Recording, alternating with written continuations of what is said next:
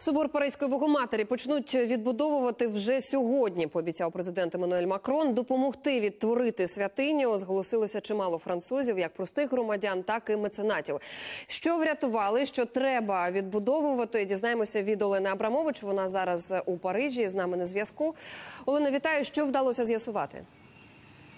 Вітаю, Наталія. Ми зараз перебуваємо перед головним входом до Нотр-Даму і виглядає він непогано. Запаху диму тут уже не відчувається. Кіптяви з цього боку теж немає.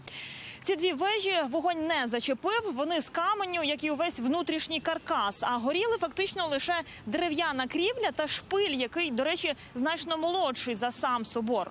Його збудували під час останньої реставрації у 19 столітті. Тож кажуть, відбудують. Загалом пожежники дуже гарно попрацювали. Їм вдалося уникнути обвалу кам'яної стелі, і саме тому не застосовували гасіння з допомогою вертольотів. Тренування з ліквідації пожеж у Нотр-Дам Париж проводив регулярно. Ось кадри ще за 1920-1930 роки. Тож усе йшло за чітким планом. До речі, допомагав пожежникам і робот. Він працював всередині храму. Це 500 кілограмова машина, яка призначена для роботи за умови високих температур. Ще один герой Нотр-Даму – капелан, який виніс терновий вінець Христа з палаючого храму. Він наполіг, щоб йому дозволили зайти всередину разом з пожежниками, коли ті рятували пам'ятки. Як боролися з пожежею, подивитися далі у моєму сюжеті. На ранок вівторка набережна сени навколо собору досі перекрита. Сотні телекамер знімають з мосту. Поряд з ними фото роблять туристи. Парижани мовчки спускаються до води і втирають сльози. Я не парижанка, мешкаю в околицях, але працюю тут. Сьогодні вранці вирішила зупинитися, віддати шану. Це важливо. Це така трагедія. Це дійсно жахливо, величезна втрата. Я вирішив подивитися на власні очі, у якому стані наша святиня. Дзвінок про пожежу рятувальники отримали о 18.50 в понеділок. Менш ніж за годину вогонь знищив найвищий шпиль, який сягав майже 100 метрів. Ще година і дві третини даху згоріли вщент. З вогнем боролися 400 пожежників. Практично увесь час у прямому ефірі низки французьких та західних змі. Американський президент через твіттер закликав діяти швидко і застосовувати вертольоти. Та гасити собор, якому понад 8,5 сотень років з повітря було неможливо.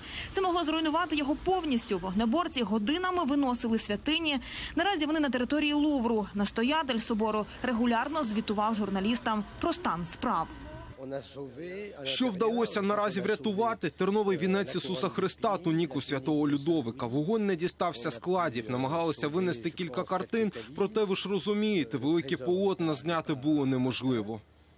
Пожежу намагалися хоча б локалізувати понад 8 годин до третьої ночі. Повністю загасили близько шостої ранку. Парижани тим часом молилися.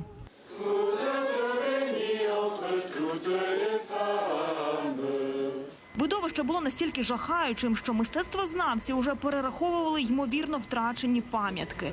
Та вранці, коли стали оглядати собор, стало зрозуміло, кам'яний купол, заради якого пожежники не бажали скидати воду з повітря, захистив практично усе всередині. Дійсно згоріла, згоріла ця стела, згоріло дерев'яне перекриття.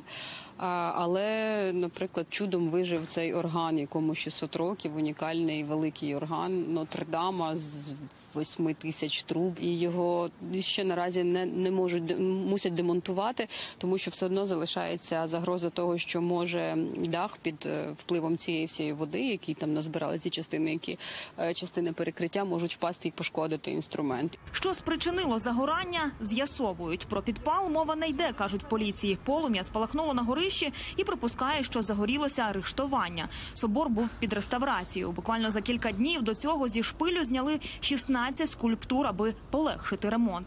Що в результаті і врятувало їх. Реставрувати Нотр-Дам планували протягом 20 років. Розпочали торік. Скільки часу піде на відбудову, ніхто поки не рахував.